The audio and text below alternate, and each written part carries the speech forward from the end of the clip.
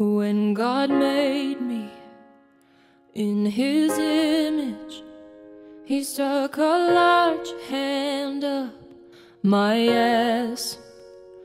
But deep inside me are all these fears, not the types of issues you discuss in mass. My mind, it is the pan, the meat represents my problem. So, where is the prepackaged answer to help me solve them? I don't have all of the answers, so